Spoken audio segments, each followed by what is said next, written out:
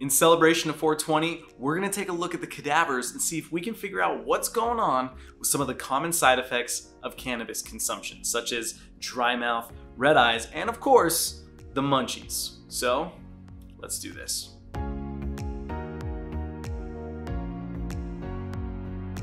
First thing you need to understand is that THC and CBD are examples of what are called cannabinoids. Or is it cannabinoids?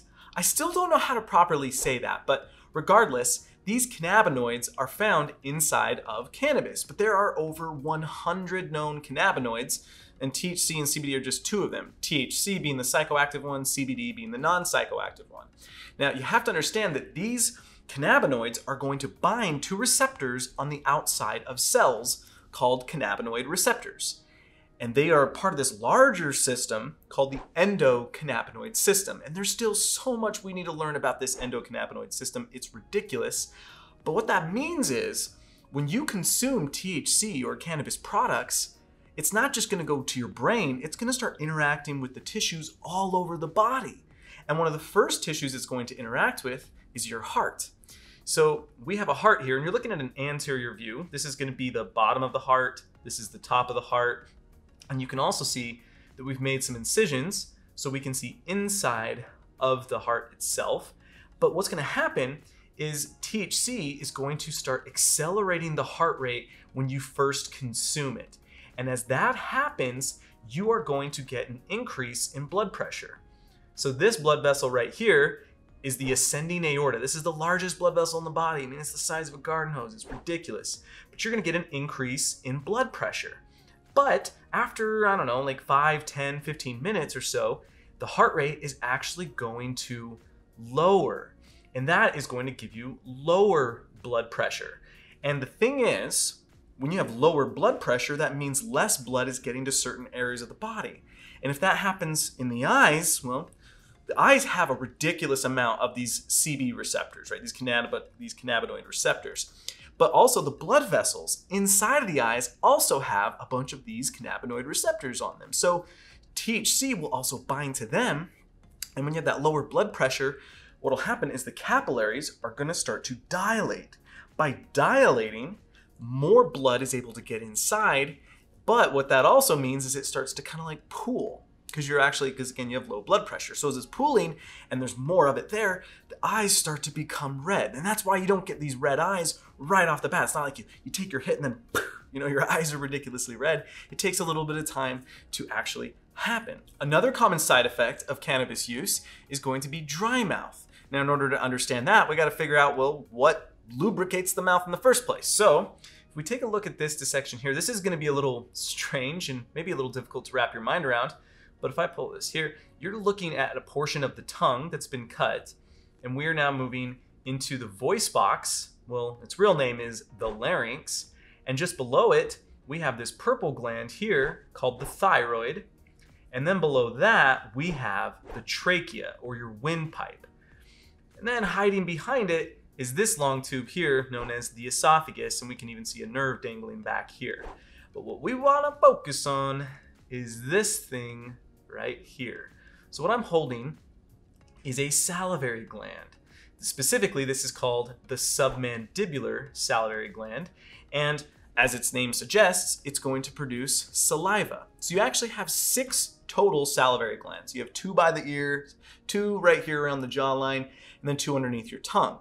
Well, what they do is they secrete saliva into your oral cavity or your mouth. And saliva serves a variety of different purposes, including lubrication, but it also has digestive enzymes in there to help break down things like starch. But what you have to understand is that this has a ton of cannabinoid receptors on it. So THC will bind to the, uh, the salivary gland and then down regulate its production of saliva. So as you're not secreting saliva, and if I hopefully you can see this. Do my best. Yeah, you can see there's some ducts there.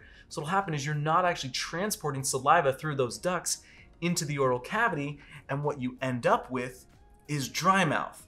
So here's the thing, we used to think for a long time that both dry mouth and red eyes were a product of smoke itself. I mean, that kind of makes sense if you think about it. The smoke is flowing up and floating up into the eyes, it's going throughout the mouth, it's hot, it's dry. That makes sense that that would be the case. But once we started consuming cannabis products that weren't smoke related, so like edibles, for example, people were still getting dry mouth and people were still getting red eyes. And that told us there was something else at play here. There really is so much still to learn about the endocannabinoid system, but it is cool to see that it's not just about irritating it with products like smoke, it's literally just the cannabinoids themselves.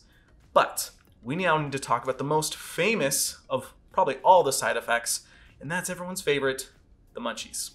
So you're looking at a bisected head that's been cut in the mid-sagittal plane, which allows us to see so many different structures, like the nasal septum, this really cool piece of tissue here called the falx cerebri, the corpus callosum, uh, the brain stem and the cerebellum back here is just stunning to look at. But we want to focus right here. This area that's not really all that noticeable that I'm tracing with my probe is what's called the hypothalamus. And this hypothalamus is extremely important because you can kind of think of it like a thermostat of sorts. And what it's doing is it's monitoring many different areas of the body to make sure they don't go too like they're not functioning at a too high of a level or too low of a level. It's it's like it's literally bringing things back into balance.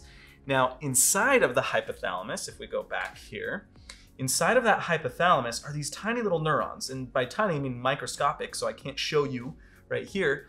But what uh, those neurons are called POMC neurons, and POMC neurons are responsible for feeling full.